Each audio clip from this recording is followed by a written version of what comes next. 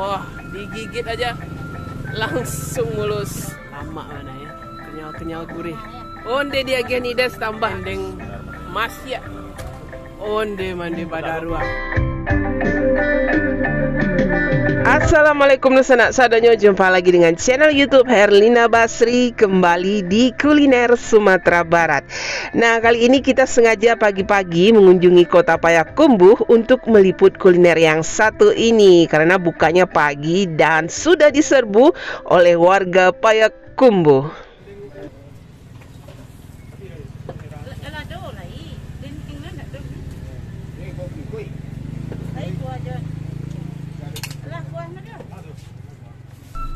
Ya, kali ini kita kembali mencicipi kuliner nasi kapau yang lama bana rasonyo, tapi bukan di kota Bukit Tinggi ya. Kali ini kita mencoba di kota Payakumbuh, namanya nasi kapau Unides. Nah, Unides ini berjualan di pasar Payakumbuh ini setiap hari Minggu pagi. Jadi tidak heran ya, pagi-pagi saja nasi kapau ini sudah diserbu oleh para pembeli.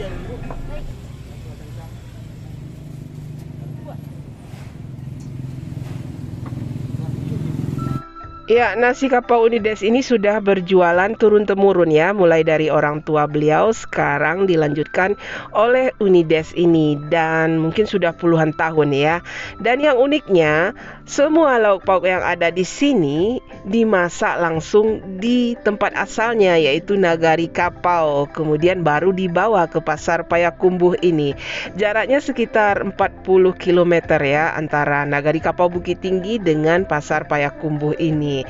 Jadi semua lauk pauknya memang asli dari kapau. Berikut juga berasnya juga dari kapau, kemudian dimasak di sini. Ya. Barehnya bareh kapau ini deh. Asli bareh kapau. Tak.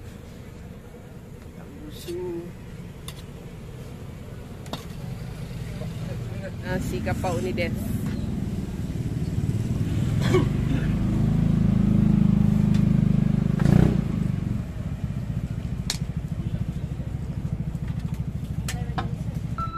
Ya, beraneka ragam lauk pauk yang tersedia di sini memang khas sekali masakan kapau ya dan yang menyenangkan lauk pauknya selalu baru dan segar.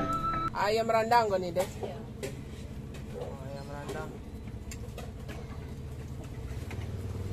balado bela nih des.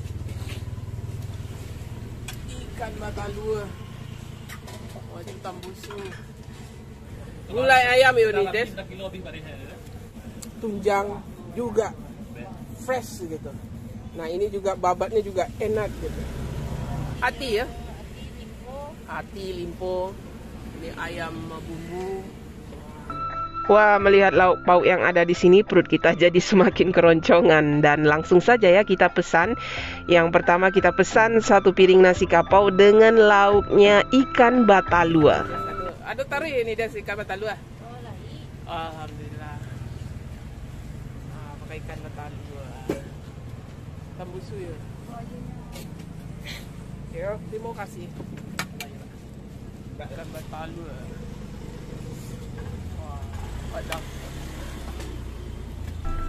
Nah ini porsi kedua yang kita pesan tentu saja dengan lauk yang sangat terkenal di nasi kapau yaitu gulai tunjangnya.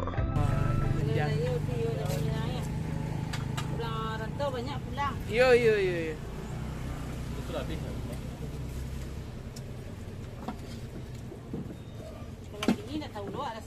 Dulu pernah di di Des kan? Dulu di awal. Oh iya. Pernah rasanya makan di tempat ini dia dahulu dulu. Kini manggali aja dia nak. Ah, di kumbu asal aja piladang. Piladang ya. Piladang hari Jumat kalau nak eh.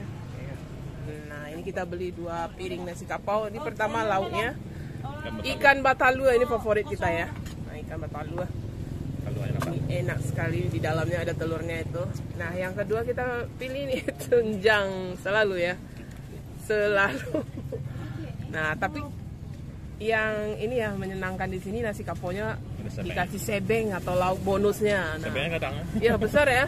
Nah itu besar dikasih biasanya cuma si upil ini besar ini dikasih sebengnya. sama Nides ini pemurah ini Nides. Murah juga lah rezeki beliau. Nah kita coba dulu lah nih sama sayur kapaunya, sama dakak-dakaknya ini. Wah, Wah, ini kita sudah cukup lama juga tidak makan nasi kapau ya. Onde.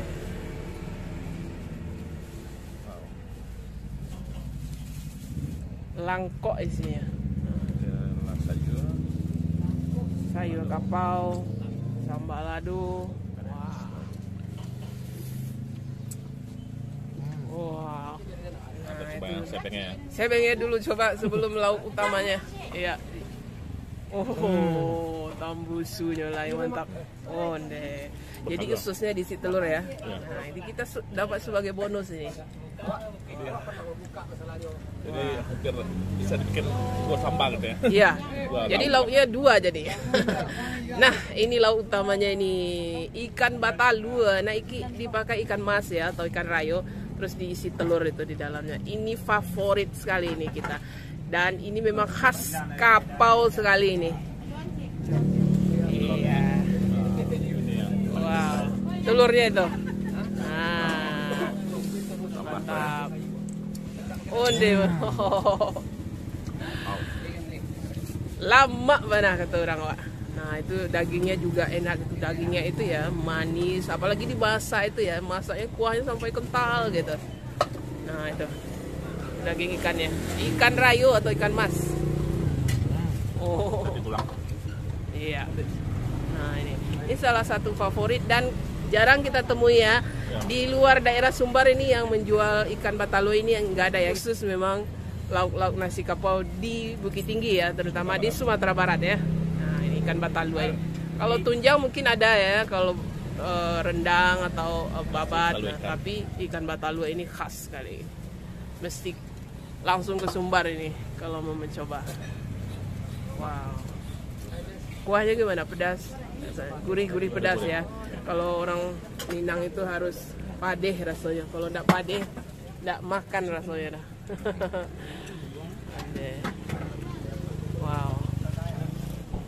Kita mau tambah ini lauknya.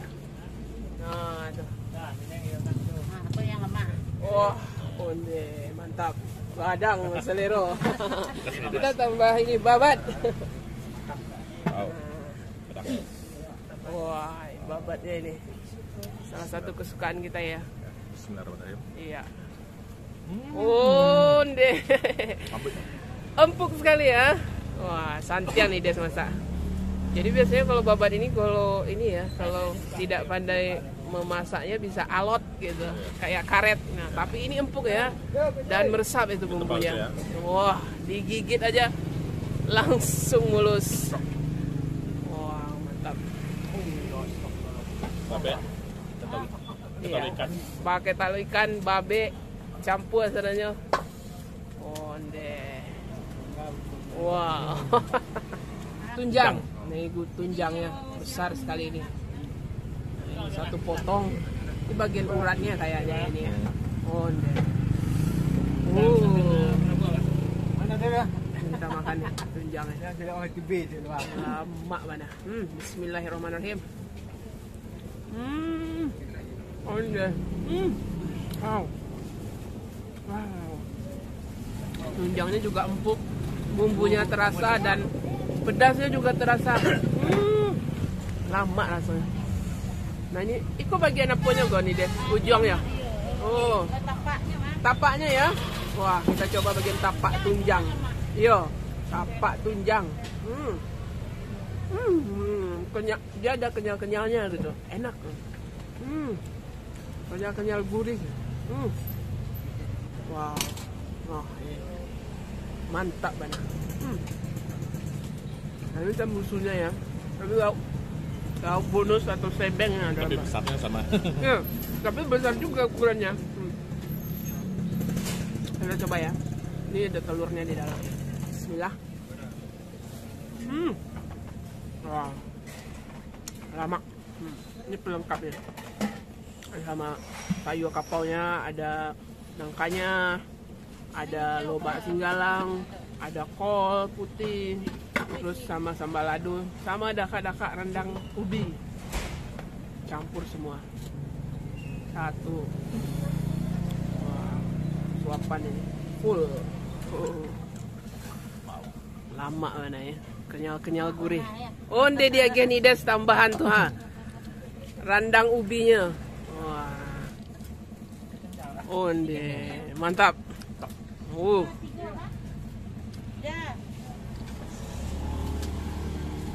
Nah ini kita eh, apa ya beruntung sekali hari ini. Sebeng kita dikasih dua sama Nides. Tadi dikasih tambusu. Sekarang dikasih dendeng lagi sebengnya onde mande ini dendeng masya kok ha. Khas nah. Jadi dua se- dua bonus lauk kita. Nah kita coba sebeng Dendeng. dendengnya Dendeng balado. dendeng Benar-benar. masya onde mande badarua. Oh wah. Pakai lado padeh. Lado lagi cabai Ah. lagi mahal ya. Betul, tapi cabenya juga pemurahan onde